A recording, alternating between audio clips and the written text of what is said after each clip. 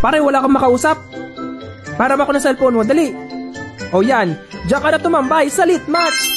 Kapag bored ka sa bahay, pwede mo tong gamitin. Hindi ka maboboring dito dahil marami dito mga cute na avatars na pwedeng kumausap sa iyo. Pwede mong gamitin ang voice game. Magkakaroon ka ng bagong kausap dito. Random yan ha, random. Buti na lang na-invento ang lit match dahil dati wala namang ganyan. Na-discover ko lang din yan dahil ng mga kaibigan ko ni-refer sa akin. Ang maganda pa dito, pwede kayong makinig ng parang radyo. Oh, ano pang hinihintay nyo? Tara na, game!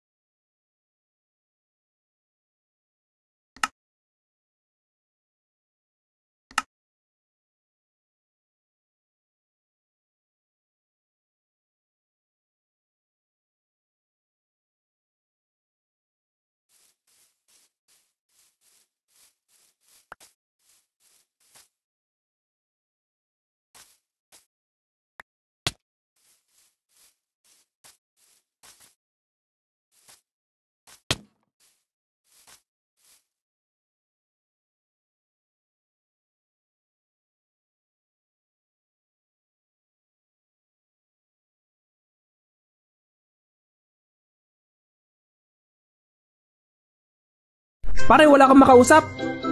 Para ako ng cellphone mo, dali. O yan, diyan ka na tumambay sa lit match. Kapag bored ka sa bahay, pwede mo tong gamitin. Hindi ka maboboring dito dahil marami dito mga cute na avatars na pwedeng kumausap sa iyo. Pwede mong gamitin ang voice game. Magkakaroon ka ng bagong kausap dito. Random yan ha, random. Buti na lang na-invento ang lit match dahil dati wala namang ganyan. Na-discover ko lang din yan dahil ng mga kaibigan ko ni-refer sa akin. Ang maganda pa dito, pwede kayong makinig ng parang radyo. Oh, ano pang hinihintay nyo? Tara na, game!